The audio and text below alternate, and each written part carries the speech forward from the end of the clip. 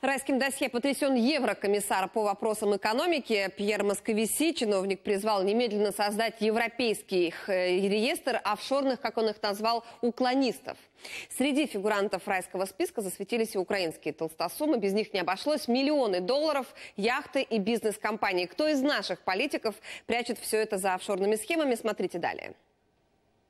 В новом офшорном компромате на мировых политиков всплыли имена и украинцев. Знакомьтесь, Валерий Ващевский, бывший вице-премьер от радикальной партии, совладелец одной из компаний на Мальте. Марфа Холдинг числится как компания, способствующая развитию туристического бизнеса.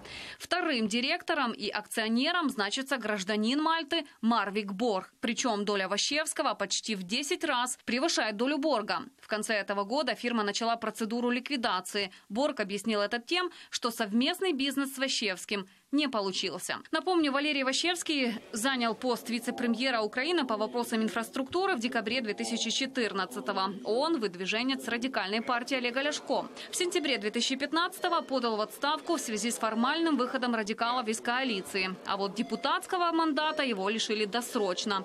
После того, как разгорелся скандал из-за причастности Ващевского к хищениям в Укравтодоре и наличия у него второго гражданства, того самого островного государства Мальта, проекта, в котором он открыл офшорную фирму. Два года назад тогдашний вице-премьер Ващевский назвал это провокацией. Хотя материалы так называемых райских бумаг очередного международного расследования журналистов подтверждают, отношение к Мальте бывший чиновник все-таки имеет.